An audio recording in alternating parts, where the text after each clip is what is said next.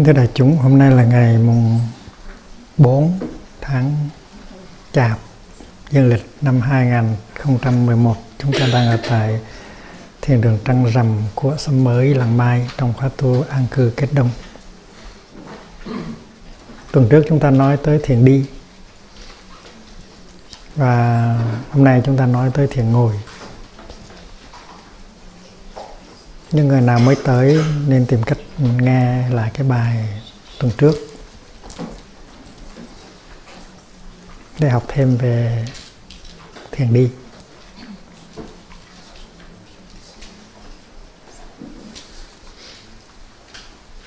Chúng ta có cái à, danh từ ngồi giữa gió xuân.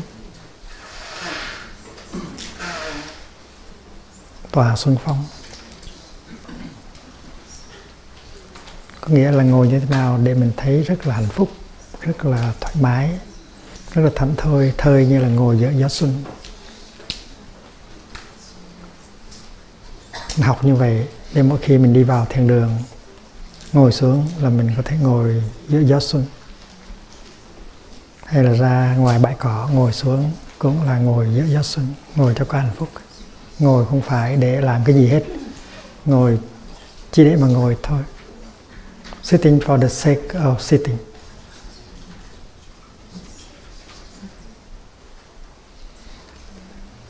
Thầy nhớ là hồi còn làm sa di được à, uh, thị giả được làm thị giả đi tới chùa Hải Đức và tại chùa Hải Đức thầy thấy một vị thiền sư đang ngồi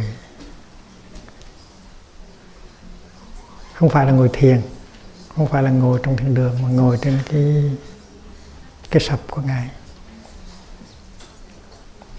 Bộ bộ ván bộ ván gõ trong chùa. Ngày xưa ở chùa không có những cái bàn và những cái ghế, chỉ có những cái bộ ván. Những cái bộ ván đó thường thường được cái năm năm cái tấm ván với nhau, mỗi tấm ván nó dày như vậy nó rất là màu màu nâu là màu gần như đen. Rất là láng rất là sạch. Và trên đó có một cái bàn nhỏ, gọi là cái học tổ, thấp thấp như vậy này. có bốn cái chân, nó hơi cong chút. Và thường thường trên cái cái bàn nhỏ đó, trên cái học tổ đó, nó có một cuốn kinh, hay là có một cái bình trà hay là một cái bình hoa. Và khi mà thầy thời thầy tới thì thấy hòa thượng đang ngồi ở trên cái cái bộ ván, cái sập gỗ đó. Ngồi rất là đẹp. Ngồi rất là thẳng.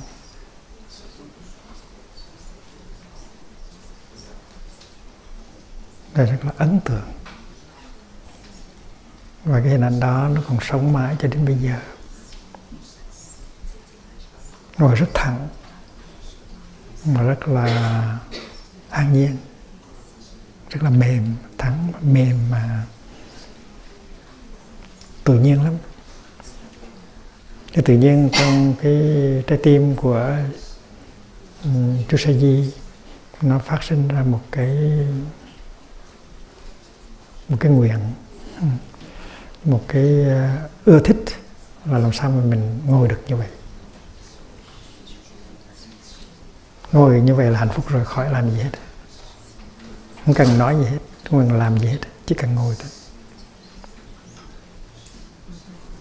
Từ hồi còn nhỏ đã thấy cái hình à, vẽ bụt đang ngồi trên trên cỏ. Và đã ấn tượng rồi. Thấy bụt ngồi có vẻ thảnh thơi an nhiên, buông thư, nét mặt rất hiền, mình đã ấn tượng rồi. Và bây giờ thấy người người thật. Ngồi như vậy còn có ấn tượng hơn nữa. Vì đây không phải là một cái hình ảnh ừ, của một cái gì ờ, thiêng liêng. Trong cõi thiêng liêng và hình ảnh một người bằng da bằng thịt, có thiệt, đang ngồi đó. Thành chùa hải đức.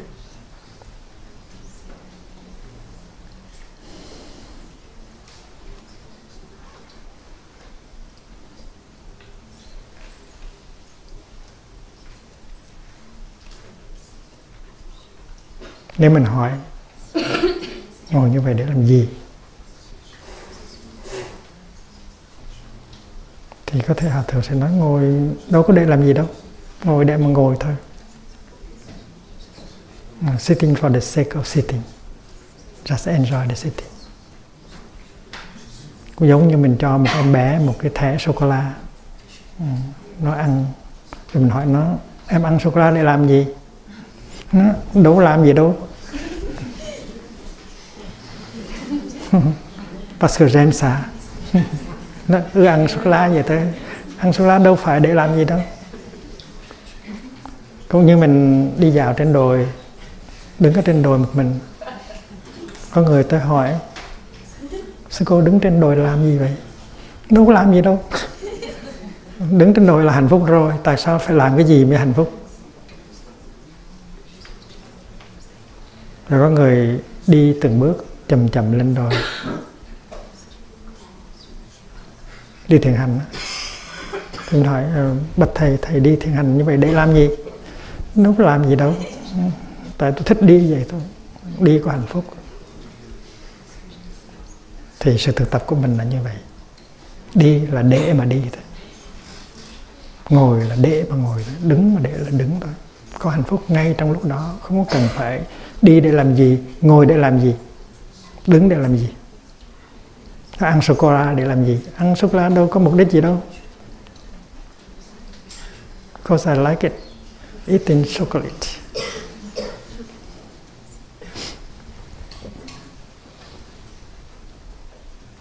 Cho nên khi mình vô ngồi thiền đó, mình đừng có nghĩ rằng mình ngồi thiền như vậy để làm cái gì? Để thành phật. Không cần thành phật cần ngồi đó thôi. Ngồi như thế nào để mình có hạnh phúc? Ngồi như thế nào để mình thật sự có mặt? Nó có cái ý thức soi chiếu là mình đang có mặt đó. Và thế giới màu nhiệm đang có đó trong mình và xung quanh mình. Rồi cái đó là hạnh phúc rồi. Cái đó là ý thức, cái đó là chánh niệm. Ngồi đây, mình ý thức là trên đầu của mình có biết bao nhiêu là ngôi sao. Có cả một cái dòng sông sao gọi là tinh hà. Nó cả hàng tỷ của sao. Có những ngôi sao lớn bằng cái mặt trời của mình, nó đang vận chuyển. Mình đang ngồi trên một cái hành tinh rất là xinh đẹp đang vận chuyển trong cái trong cái tinh hà kia gọi là giải ngân hà đầm Milky Way ngồi mà thấy được như vậy, thì mình đòi cái gì nữa? Thấy rõ cái sự mầu nhiệm của vũ trụ, của hành tinh xanh, của trái đất, của mình ngồi mà thấy được như vậy là ngồi có ý thức mình ôm lấy được cả thời gian. Từ quá khứ cho đến tương lai, mình ôm lấy tất cả không gian. Và ngồi như vậy, hạnh phúc rất là lớn. Thì ngồi thiền là mình phải, trước hết là mình phải ngồi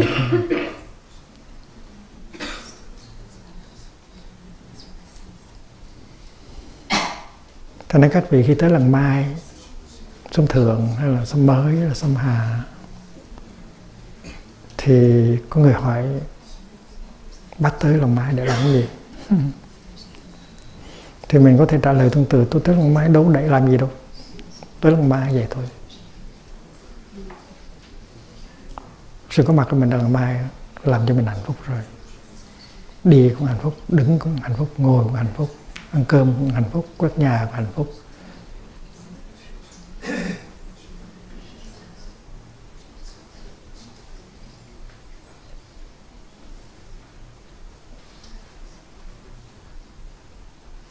ngồi ngồi cho yên.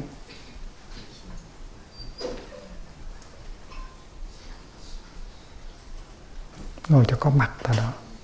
Có mặt thật sự. Ngồi để tiếp xúc được với tất cả những cái màu nhiệm của vũ trụ, của sự sống trong giây phút hiện tại. Không có mục đích gì hết. Con ngồi đây, con khỏi làm gì hết. Con không cần thành phật nữa. Con không cần giải thoát nữa. Con ngồi đây có hạnh phúc là được rồi. Thế trong khi mình ngồi, mình mình lao tác mệt nhọc, mình gồng, mình tìm đủ cách để thành phật để giác ngộ, cái đó nó rất là mệt. Ở trong à, ở trong truyền thống gọi là tạo đồng tâm tôn nói là chỉ quán đã tỏa. Chỉ quán đã tỏa. Tức là tiếng tiếng tiếng nhật là shikantaza. Nó có nghĩa là chỉ cần ngồi đó thôi. Chỉ quán đã tỏa, chỉ cần ngồi đó thôi.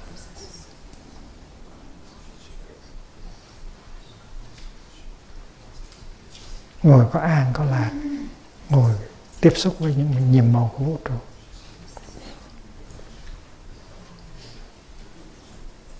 Sáng nay thông thường thầy pháp niệm uh, canh tiếng việt nghe hay quá. Ngày xưa khi mà thầy ở chùa đó thì cái bài hô canh buổi sáng nó không phải như vậy.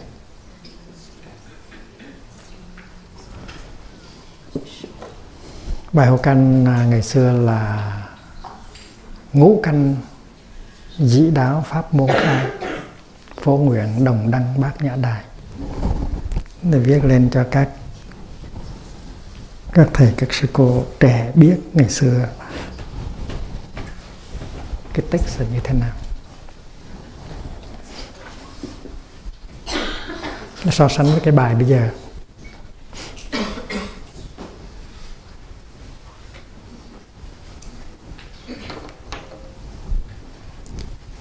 Ngũ canh dĩ đạo, pháp môn khai.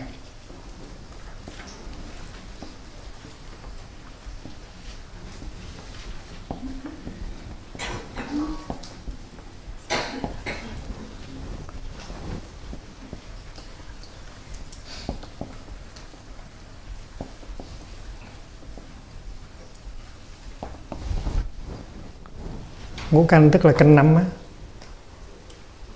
Canh năm tức là trời sáng rồi.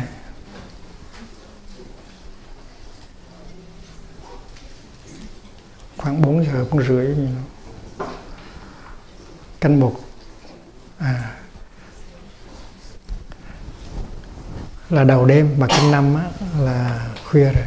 Ngũ canh chứ canh á, là một cái đơn vị thời gian.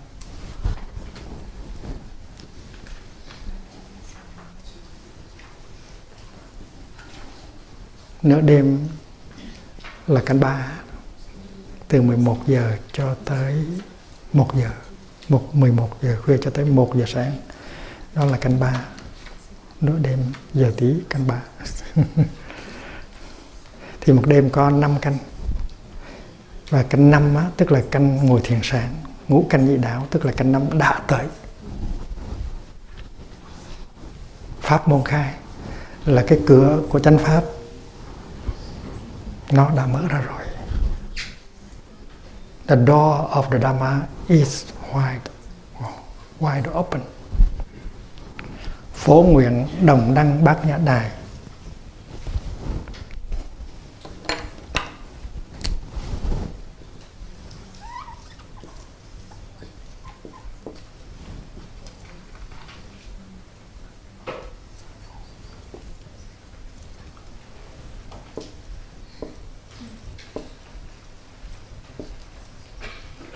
có nguyện đồng đăng, bát nhã đài.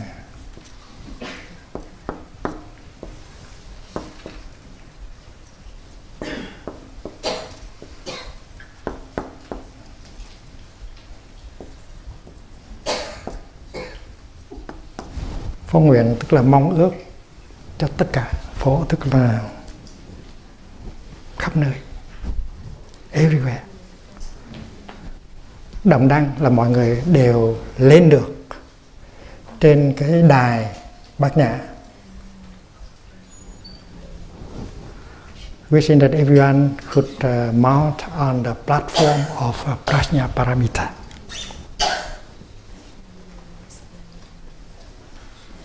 Cái hồi thầy làm chú tiểu là hô căn bài này ngũ canh nhị đạo pháp môn khai, phố nguyện đồng đăng, bát nhã đài, liễu triệt, tam thừa, dung nhị đế.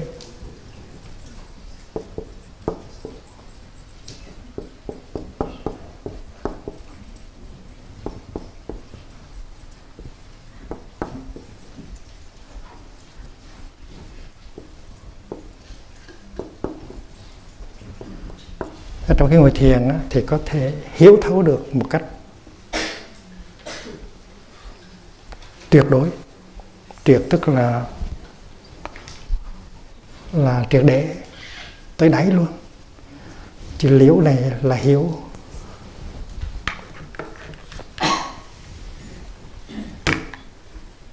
thấu hiểu một cách rốt ráo giáo lý của tam thừa. Tam thừa là ba cái cỗ xe, đó là thanh viên văn thanh văn thừa, Sravaka Yana à, dương giác thừa và bồ tát thừa. Dung tức là bao gồm cả ôm lấy hết. Âm sinh ô nhị đế là hai sự hai cái loại sự thật. Cái sự thật uh, ước ước lệ và sự thật tuyệt đối. Ừ. paramatta satya và samriti satya. Cao huyền. Cao huyền tuệ nhật.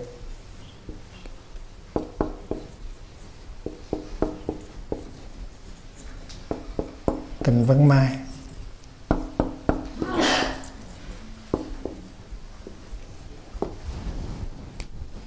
Là mặt trời trí tuệ. Cao. Cao ngất và huyền diệu đã lên rồi và đã làm cho tan, đã làm cho yên tất cả những cái mây mờ, những cái mây mưa. Vâng là mây, mai tức là những cái cơn mưa, những cái mưa gió.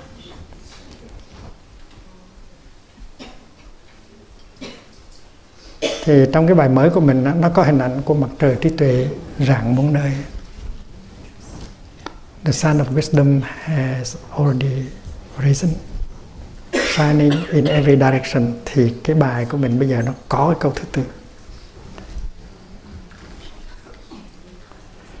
Cái bài của mình bây giờ là pháp môn tỏa sáng buổi ban mai.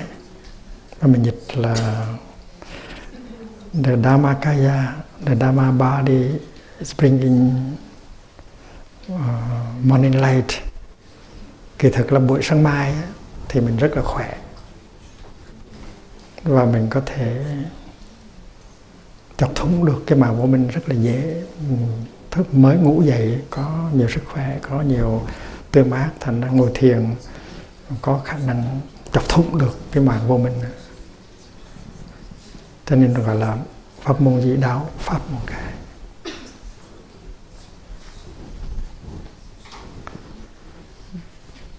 là ngũ ngũ canh dị đạo pháp môn khai ngũ canh tức là canh năm. Thì mình nói là cửa ừ, pháp thân tỏa sáng buổi ban mai. Vào buổi ban mai, còn mình dịch là bringing morning morning light. Thì thực ra thì vào buổi ban mai thì nó tỏa sáng.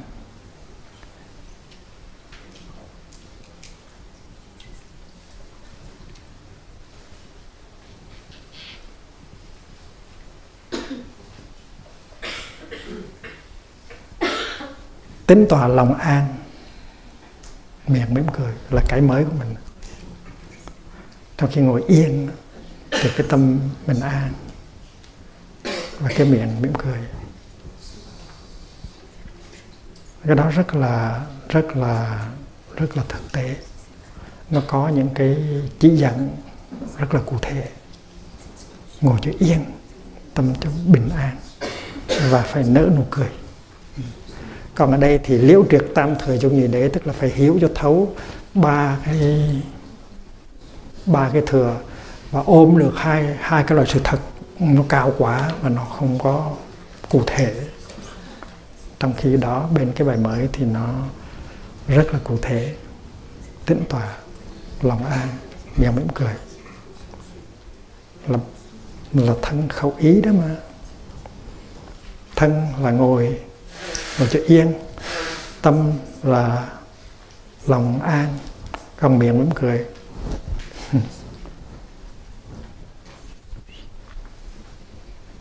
tới cái ngày ba, cái câu thứ ba của mình rất là hay. Ngày mới nguyện đi trong tỉnh thức.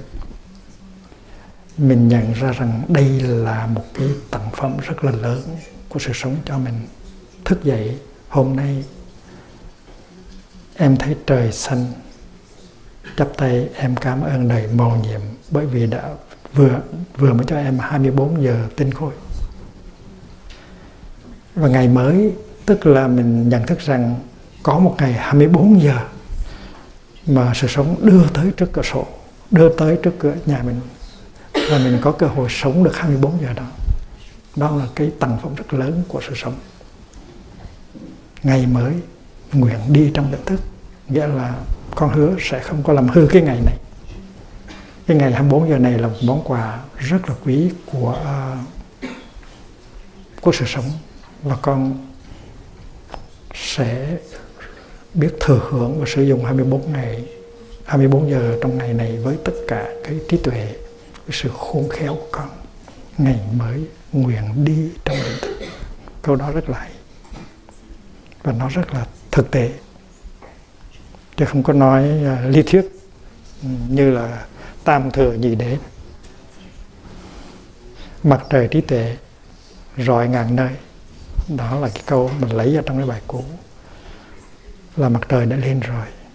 Mặt trời này, nó tượng trưng cho trí tuệ nó soi sáng khắp mọi nơi. Thì mình ngồi thiền cũng vậy, mình phải có chánh niệm, mình phải có ánh sáng của trí tuệ soi ở đây có một số các thầy, các sư cô à, đã từng ở chùa truyền thống. Thế nào cũng biết hô canh bài này. Thế nào ba mai mốt hô cho quý vị nghe.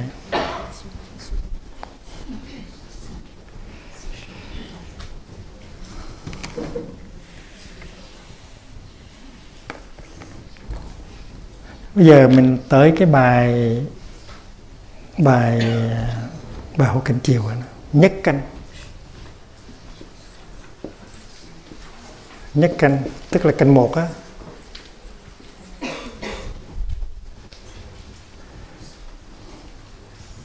Nhất canh dĩ đáo canh một đã tới rồi. Thường thiền sàng là leo lên trên cái thường là leo lên thiền sàng. Sàng là cái giường. Giường này không phải giường ngủ đâu nghe. Giường ngồi thiền đó. Tại vì trong cái thiền đường à, ừ, cổ điển á ừ, nó có nó có những cái thiền sàng sát vách như vậy đó. Và các thầy ngồi như vậy xoay mặt vào vách cái này gọi là thiền sàng. Nhất canh dị đáo thường thiền sàng. Canh một đã tới rồi mọi người leo lên à, thiền sàng để ngồi. Tam nghiệp tình trừ đỗ thánh nhang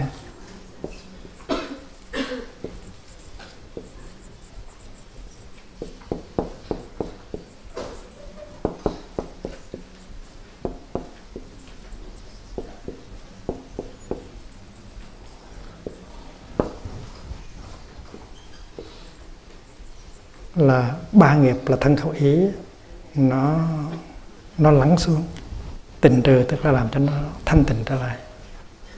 Đó là thấy được thánh nhang là cái khuôn mặt của của bụt thánh tức là bụt á nhang là cái khuôn mặt. Tại vì mình có nhiều phần não quá nhìn đâu thấy mặt ngài. Khi nào phần não nó lắng xuống rồi mình mới thấy mặt của ngài. À, đỗ thanh nhang là thấy được cái mặt của của thánh của của buộc nhất canh dị đáo thượng thiền sàng tam nghiệp tịnh trừ độ thánh nhang, thâm tín phật ngôn, hằng niệm phật.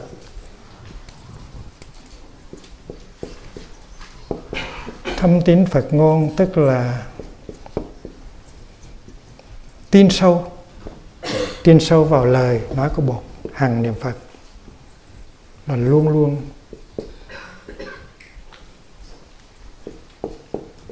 luôn luôn niệm phật. Thì bài này nó có màu sắc tình độ. Buổi chiều có mình sắc tình niệm phật. Thâm tín phật ngôn hằng niệm phật. Chỉ tu nhất hướng nhập linh sơn.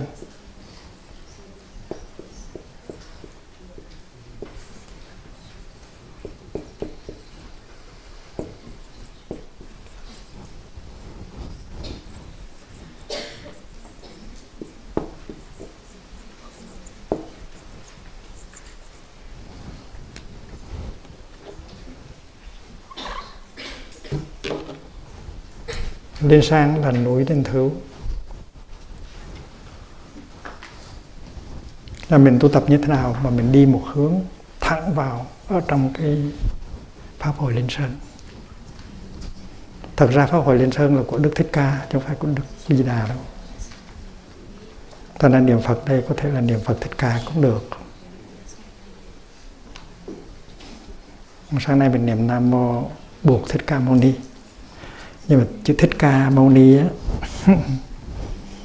tiếng việt nó nghĩa là the monk who like to sing thích ca là ưa hát. Ưa ca hát. Đức thích ca là cái cái đức phật mà ưa ca hát. Mâu ni tức là ông thầy tu ông thầy tu ưa ca hát. Thích ca, mâu ni.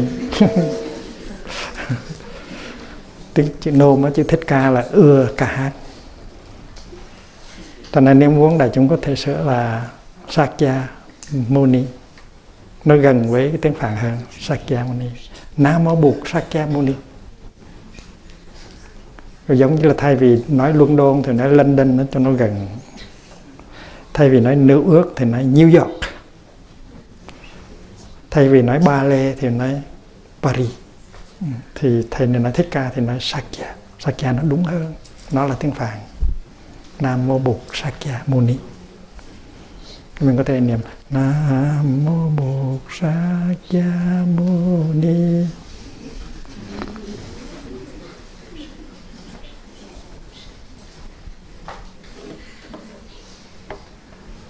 chiều nay thầy giới đạt uh, hô mấy cái bài này cho chúng nghe được không?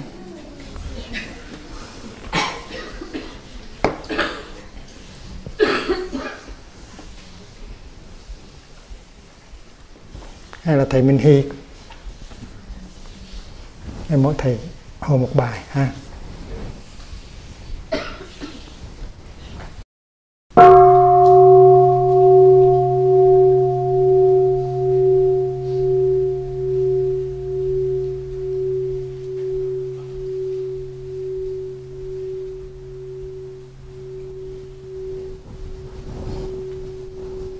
Nên kỳ ngồi thiền tới, quý vị thử ngồi như vậy coi. Là ngồi như thế nào để thấy rằng ngồi là chỉ để ngồi thôi, không có cái mục đích gì khác. Ngồi không phải là để làm cái gì hết. Trong đó có cái chuyện giác ngộ thành phật. Không cần không cần giác ngộ, không cần thành phật. Chỉ cần ngồi đó thôi nhưng mà phải ngồi như thế nào để trong khi ngồi mình có tự do? Mình có tự do. Mình có mặt thật sự đó. Mình không có bị quá khứ lôi kéo. Mình không bị tương lai lôi kéo. Mình không có bị phiền não, ganh tị, giận hờn, lôi kéo. Ngồi như một con người tự do. Làm được không?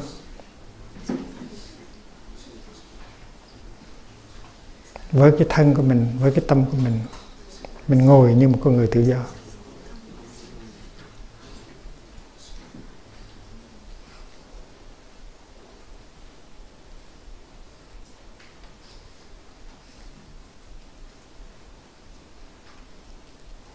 Tôi có một uh, sư cô học trò ngày xưa bị bác bỏ vào trong tù.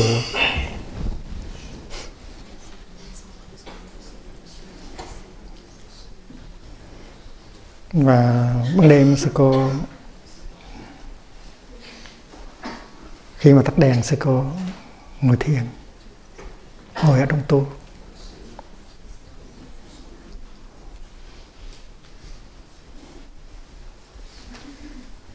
Sư cô này à,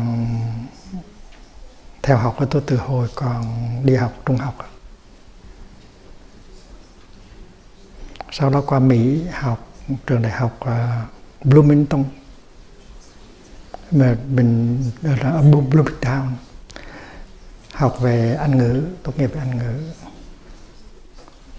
Sau đó về Việt Nam mà xuất gia. Và trong cái thời gian mà tranh đấu cho hòa bình cho nhân quyền thì sư cô bị bắt. Nó bắt ở trong tù và ban ngày ngồi thiền thì thì những người cai tù họ không thích. Tại vì họ thấy rằng mình ngồi bất động ở trong cái cái phòng giam của mình có vẻ như là thách thức họ. Cho nên sư cô đợi tới tắt đèn rồi sư cô ngồi ngồi thiền. Ngồi như một con người tự do trên phương diện hình thức thì đang bị tu đầy. Nhưng mà trong nội dung có thể ngồi tự do. Và khi mà ngồi như vậy thì những cái chấn sông hay là những cái cánh cửa nó không còn nữa. Mình ngồi mình tiếp xúc với vũ trụ, thanh thản, với những màu nhiệm đó. Còn có nhiều tự do hơn những người khác, những người đang giam hãm mình. Những người ờ, cai tù, những người cảnh sát, người công an họ giam mình, nhưng mà chưa chắc họ có tự do bằng mình nữa.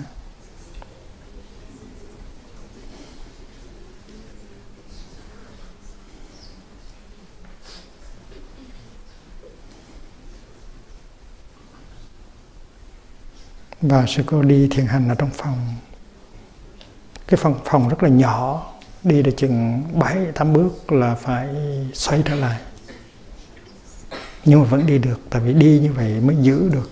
Cho mình đừng có mất trí đừng có thì ngồi và đi ở trong đó nó làm cho cô có thể uh, có không gian không gian ở trong ở trong lòng. Và sư cô đã dạy cho những người ở trong một cái trong tù đó những cái người nhốt ở trong cùng một phòng đó cái cách ờ, ngồi, thở và đi để cho họ bớt khổ. Thành ra trong cái hoàn cảnh đó mà người ta cũng làm công việc của một vị giáo thọ được. Rất là hay.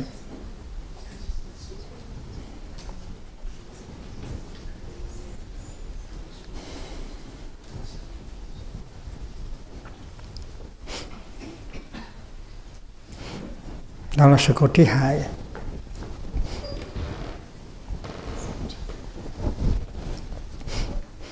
Thành ra đây, cái thiền đường của mình đẹp quá chừng. Là mình ngồi không có hạnh phúc, mà rất là uổng. Thiền đường trăng rằm này cũng đẹp. Thiền đường nước tĩnh trên kia cũng đẹp. Thiền đường cam lộ. Sa mà cũng rất là đẹp.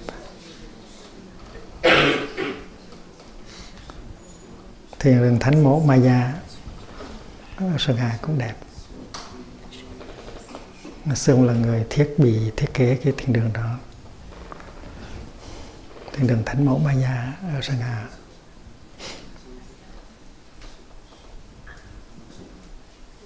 Mình có thiên đường.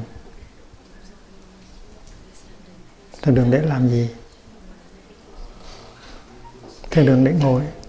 Có phải thiên đường làm ra để ngồi phải không? Ngồi để làm gì? Không có làm gì hết ngồi là cái ultimate aim, là cái mục đích cuối cùng. Ngồi giữa giáo xuân.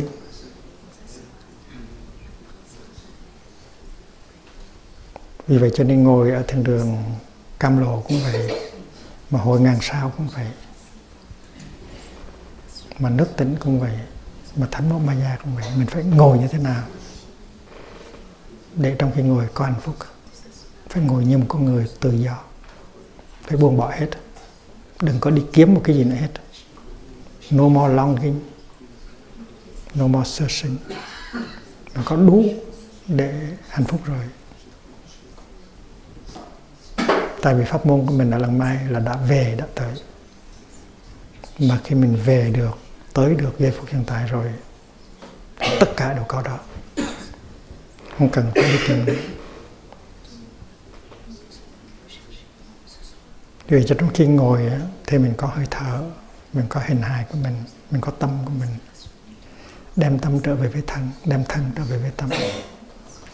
Thân và tâm là hai khía cạnh của một thực tại. Lấy tâm ra khỏi thân thì thân chết. Mà lấy thân ra khỏi tâm thì tâm cũng chết. Kỳ trước mình học à, uh, sắc thân và danh thân đó namakaya và rupakaya là hai cái nó ở với nhau. Lấy rupa ra thì nama không còn, lấy nama ra thì rupa không còn. Lấy danh ra thì sắc không còn, lấy sắc ra thì danh không còn. Vì vậy cho nên thân và tâm là hai mặt của một thực tại. Đừng có nghĩ rằng cái này có thể có được nếu không có cái kia. Thì khi mình ngồi mình phải để cho cái thân của mình nó có tâm. Và cái tâm mình nó có thân. The mindful body and the embodied mind.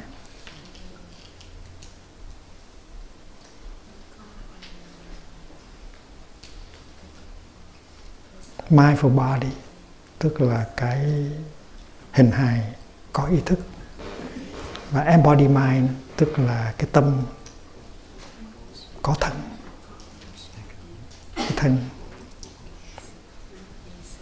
Cũng như cái software nó có cái hardware. Cái software mà không có hardware thì không có cái phần mềm mà không có cái phần cứng thì không có biểu hiện được.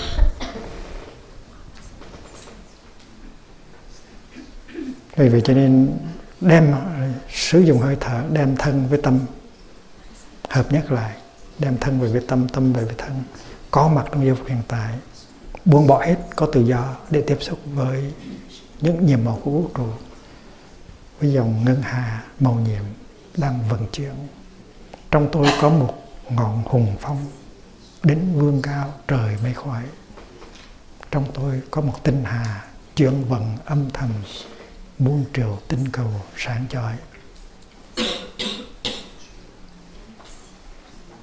Phải thấy như vậy.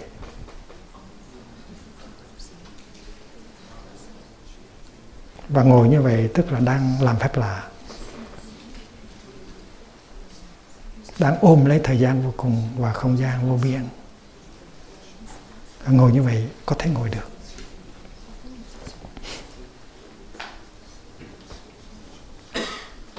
Ngồi á, dầu cho mình có 15 phút hay là 30 phút hay là 45 phút cũng vậy, mình phải mình phải lợi dụng mình phải thưởng thức từng từng giây, từng phút.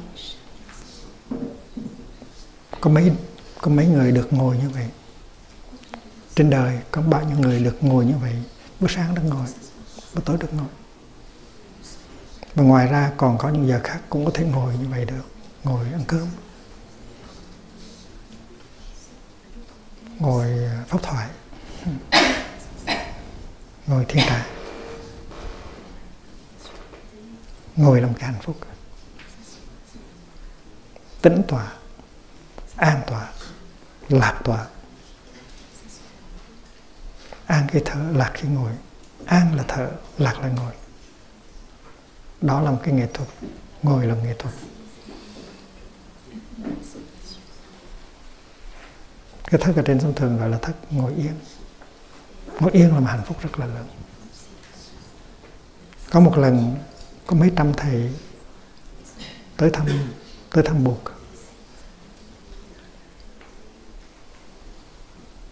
Và tới lúc 9 giờ tối, thầy sa lại phật cho họ vô ngồi chung với buộc. Ngồi chung với buộc là hạnh phúc. Từ ngày xưa đôi khi phải đi cả tháng mới tới cái chỗ buộc ở mà chưa chắc tới đó đã có buộc ở đó, tại vì không có telephone, đâu biết trước được ngài sẽ đi đâu. Cho nên gặp buộc, ngồi chung với buộc, thầy trò ngồi với nhau là hạnh phúc lắm. Thì cái bữa đó là may là mấy trăm thầy tới từ xa. Thầy xa lại phất sắp đặt để cho được vô ngồi với buộc. Ngồi từ 9 đến 9 giờ tối ngồi tới 10, 12 giờ khuya. Ngồi yên như vậy thôi. Thế anh đang nhẹ nhẹ tới nói với buộc bà Đức Thế Tôn 12 giờ khuya rồi Ngài có muốn dạy các thầy cái gì không?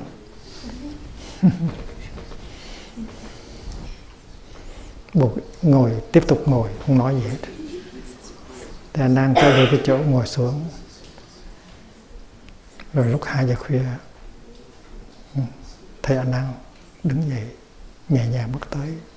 Nói nhỏ trong tay bụng, bạch thầy, hai giờ khuya rồi, ngài có muốn dạy gì thì ngài dạy đi.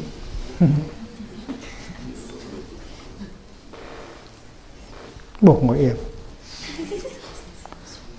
thì anh nàng trở lùi ngồi xuống cho tới 5 giờ khuya 5 giờ sáng. 5 giờ sáng thấy anh đang đứng dậy đi nhẹ nhẹ từng bước tới. Bạch đức thế tôn 5 giờ sáng rồi ngài muốn dạy gì thì ngài dạy. Ngài muốn nói gì thì ngài nói. Lúc đó buộc mới nhìn thầy anh đang buộc hỏi thầy anh đang thầy muốn tôi nói cái gì đó? Thầy trò ngồi với, với nhau như vậy chưa đủ sao? Chưa đủ hạnh phúc thôi sao còn nói gì nữa? Đó là câu chuyện rất là hay ngồi nhưng ngồi giữa gió xuân, thầy trò mà ngồi với nhau là hạnh phúc rồi. Mà phải biết ngồi, phải có khả năng ngồi, phải có khả năng hạnh phúc trong khi ngồi.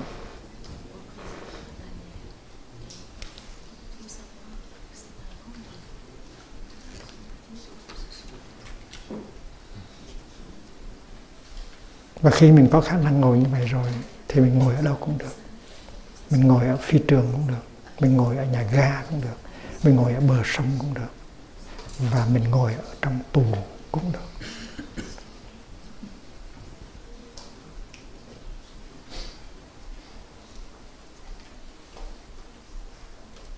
Và nếu mà mọi người trên thế giới biết cách ngồi như vậy, thì thế giới này sẽ có an lạc, có hòa bình, có hạnh phúc rất nhiều. Chỉ cần ngồi thôi.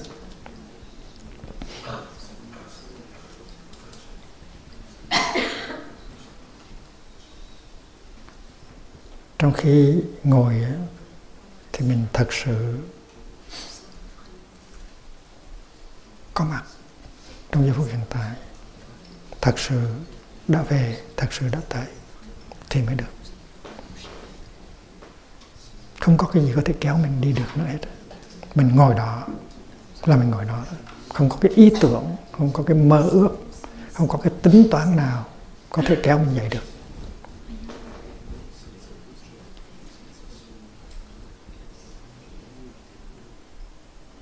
Thì cái ngồi này nó được áp dụng, cái cách ngồi này nó được áp dụng vào tất cả mọi cái giây phút ở trong đời sống hàng ngày.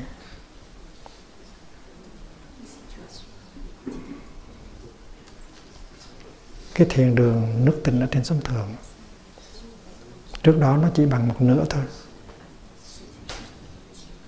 Là mình tưởng là khi mà làm như vậy thì nó dư sức để cho mọi người ngồi thiền. Ai về, thiếu chỗ quá, thành ra phải làm rộng ra. Bây giờ thiền đường được tịnh nó rộng bằng hai thiền đường trước.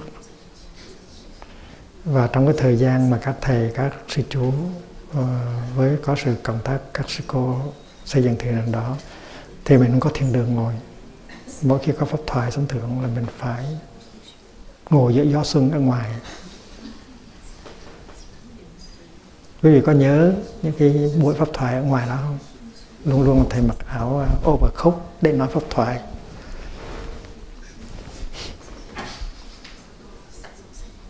Cái lần đầu tiên mình được vô ngồi trong thiền đường đó, hạnh phúc vô cùng.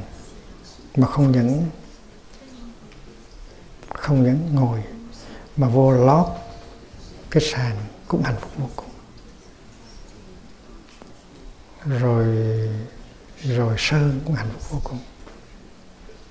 Tưởng tượng mình có đất để làm thiền đường mình có giấy phép để làm thiền đường mình không có gỗ mình không có à, à, đinh mình không có những dụng cụ để để làm thiền đường thì bây giờ mình có giấy phép, có đất, có gỗ, có người cho tiền mua gỗ. Vì vậy cho nên trong khi mà dừng thiền đường, hạnh phúc lắm. Chứ không phải là dừng xong thiền đường, vô đó ngồi mới hạnh phúc. Trong khi xây từng viên gạch, đóng từ miếng gỗ, mình có thể có hạnh phúc được. Chứ không hẳn là làm xong thiền đường rồi vô đó ngồi mới hạnh phúc. Thì trong đời sống của người tu là vậy. Nấu cơm, quét nhà chưa cầu tiêu, đều có hạnh phúc hết.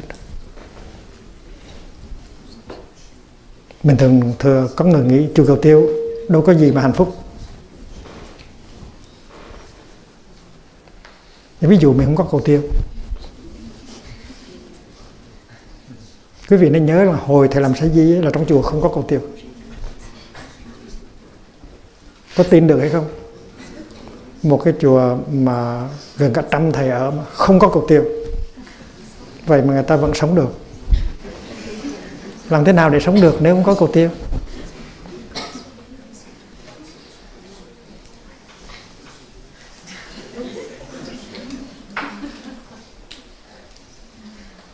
Và xung quanh chùa nó có những cái đồi những cái đồi hoang. Và khi mình đi cầu á, hoặc là đi tiểu thì lên trên đồi thôi. Mình làm giống những sinh vật khác của trái đất. Mình làm giống con thỏ hay con nai. Không có cái gì là lạ lùng hết. Và chính thầy đã làm như vậy.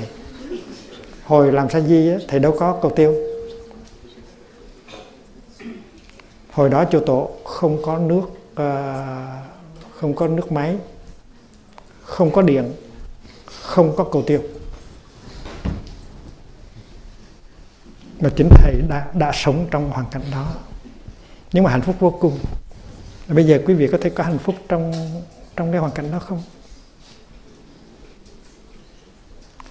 Hồi đó hồi đó muốn đi cầu á, thì phải lên trên trên đồi, trên núi đó và đừng đừng có hy vọng là có toilet paper. Không có đâu. Không có. Không có những cái cuộn tròn tròn tròn tròn như vậy đâu. Không có. Ừ. mình lấy những cái những cái lá chuối khô hoặc là những cái cái lá ở trên đồi á, mình lau. Rồi trên đường về mình ghé suối. Ghé suối. Sự ngật tự thủy. Tức là đi cầu xong rồi tới tới rửa. Sự ngực tự thủy. Nói văn chương như vậy đấy làm cái việc đó xong rồi thì tới nước. Ừ, sự ngật là việc xong, từ thí là tới nước. Nói rất là văn chương. Thì các thầy, các đệ tử đều phải như vậy. Mỗi khi đi cầu là phải lên đồi, tìm một cái chỗ nào vắng một mình ngồi xuống. Và con trai cũng vậy, khi đi tiểu, phải ngồi xuống, chứ không có đứng mà tè như bây giờ. các thầy, các sư chú mỗi khi đi tiểu đều ngồi xuống như là các bà bây giờ. Đó là cái cách của ấn độ ngày xưa. Cái hồi thầy còn bé, chơi đi xuất gia, trong nhà cũng không có cầu tiêu ở Việt Nam không, hồi đó chưa có nhà nào có cầu tiêu chỉ trừ những người theo Tây phương mà đã giàu thành cả gia đình đó, mỗi mỗi ngày mỗi người phải đi đi ra ruộng hay là đi ra đồi. Đi cầu về tốn vào khoảng 40 phút. Thì mỗi ngày đi một lần thôi. Và mình có thể rủ hai ba người cùng đi một lần. Mỗi ngày thế nào cũng phải đi một lần. Mà chỉ một lần là đủ thôi. Và nó đúng giờ lắm. Rất là hay. Bây giờ mình có thể đi nhiều lần. Hồi đó dân số Việt hồi đó dân số Việt Nam chưa tới 30 triệu mới có 25 triệu à. Thì bây giờ tới gần 90 triệu rồi. Và ở miền Nam á, cũng có cầu tiêu người ta cũng ra ruộng ra ở ngoài ruộng mà ngồi. Và nhớ làm như làm cho tốt ruộng thêm chứ có gì đâu. Và có những cái ao ờ, làm cầu tiêu những cái hồ làm cầu tiêu rồi làm một cái cầu ở trên đó mình đi cầu xuống đó vì do đó có những con cá cá tra rồi nó ăn rồi nó rất là thích ăn. Ở trong nhà không có cầu tiêu. Ừ.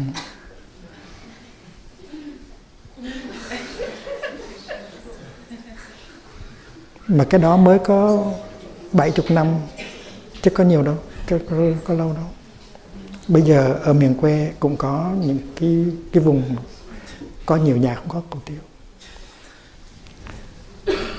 năm 60 1960 4 6 60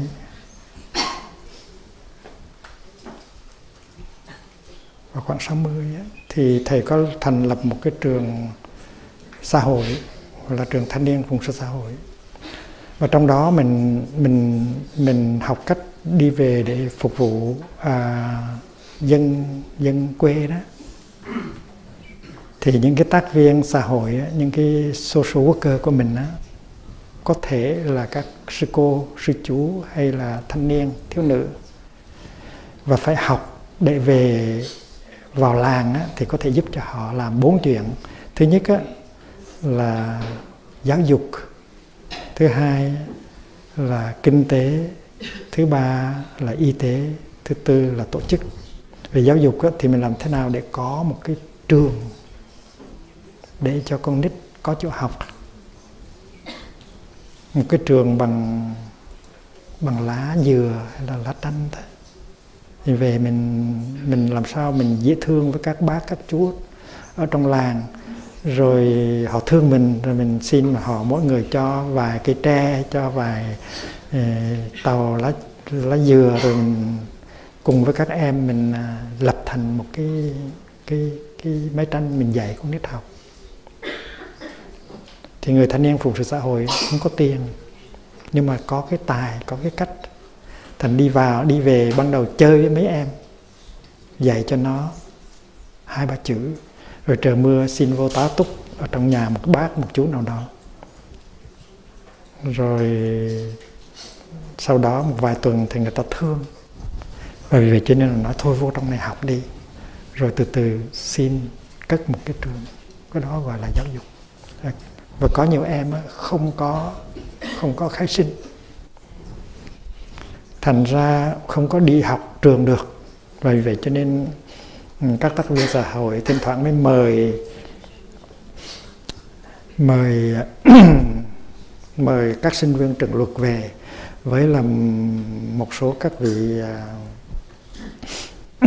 thẩm phán về, mời một vị thẩm phán về và thiết lập một cái một cái tòa tòa án tại tại thôn quê để làm giấy thế vì khai sinh cho các em, đóng dấu ngay tại chỗ.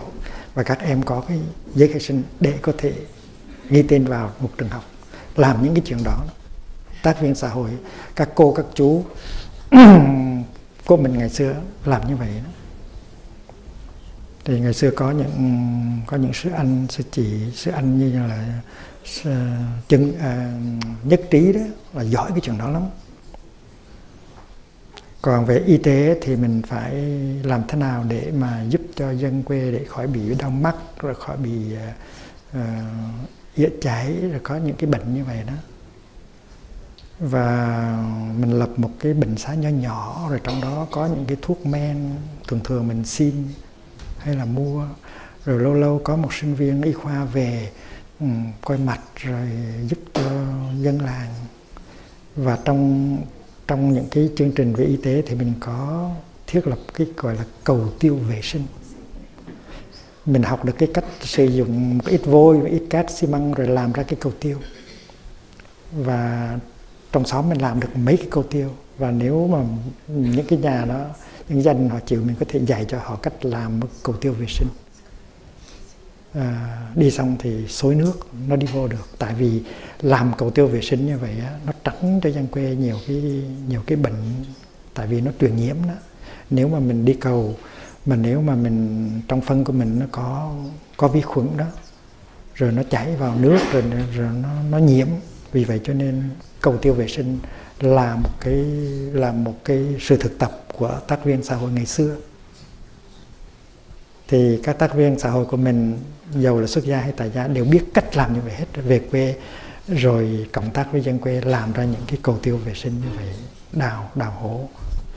Và về kinh tế thì à, dạy cho họ cái, cái cách ủ phân làm phân xanh bón ruộng làm thế nào chăm sóc gà vịt trâu bò để cho nên đừng có bệnh? Mấy cái đó mình học ở trong trường hết. Và thầy phải đi nghiên cứu những cái những cái đó ở nhiều nước. Rồi thầy về thầy tổ chức cái trường thanh niên của xã hội đó. Nó sau này cái trường đó nó thuộc một, một phân khoa của trường đại học vận hành ở Việt Nam. Thì nói như vậy để đi trở lại là ngày xưa không có cầu tiêu. Và ví dụ như mình có cái cầu tiêu ở trong nhà là hạnh phúc rất lớn. Vì vậy cho nên vô mà có cái cầu tiêu để chui cầu tiêu là hạnh phúc rồi. Chứ không phải chui cầu tiêu là một cái dirty work. Có cầu tiêu mà chui là sướng rồi. Nó tóm lại cái sự thực tập của mình đó, là làm gì cũng phải có hạnh phúc hết. Trong khi nấu cơm cũng phải có hạnh phúc. Và tại mình có cái bếp này mình có thức ăn này mình có gạo này và nấu cơm là một cái hạnh phúc. Thì quét nhà cũng là hạnh phúc. Chùi cầu tiêu là hạnh phúc. Và đời sống của người tu là phải như vậy. Phải có hạnh phúc trong mỗi giây phút. Mà nếu làm được như vậy, thì mình đâu có cần đi tìm cái gì nữa đâu. Hạnh phúc nó có ngay trong giây phút hiện tại. Trước hết là có hạnh phúc trong khi ngồi và có hạnh phúc trong khi đi. Có hạnh phúc trong khi nằm. Có hạnh phúc trong khi ăn cơm. Có hạnh phúc trong khi à, quét dọn. Có hạnh phúc trong khi nấu cơm. Có hạnh phúc trong khi giúp những người khác. Và mình có tự do. Nếu mà mình mình có vợ con à, đùm đề phải lo thì không có thì giờ để có thể giúp người. Vì vậy cho nên người xuất gia thì có nhiều thì giờ, có nhiều tự do để giúp người hơn. Cho nên mình rất là trân quý cái tự do của mình. Khi mình đi xuất gia thì mình có cơ hội được ngồi nhiều hơn, được đi nhiều hơn, ít lo lắng hơn giúp được, giúp đỡ được nhiều người hơn. Cho nên phải trân quý mỗi giây phút của đời sống của mình.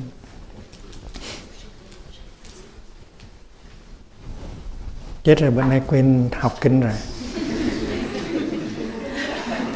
Nó phải học kinh là chừng uh, vài chục phút ha?